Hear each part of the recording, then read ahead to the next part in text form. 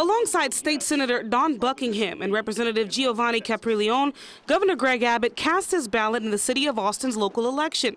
On the ballot are eight propositions. The elephant in the room, of course, is the homeless camping issue. I just I went in and casted my vote for yes on Proposition B in the city of Austin.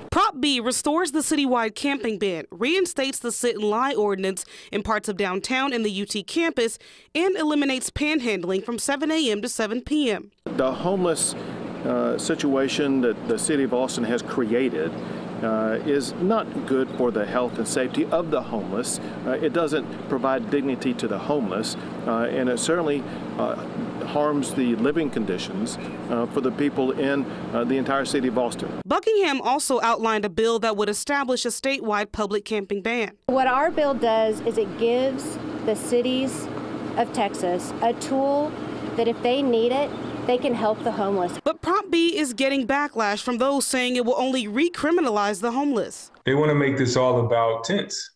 Um, but the reality is that there are people uh, inside of those tents. And, and the question that is unanswered by Prop B is what, what will happen um, to, the, to those people. Chris Harris with Texas Appleseed believes the supporters of Prop B aren't offering tangible solutions there is real progress in our city to house people for the first time in years.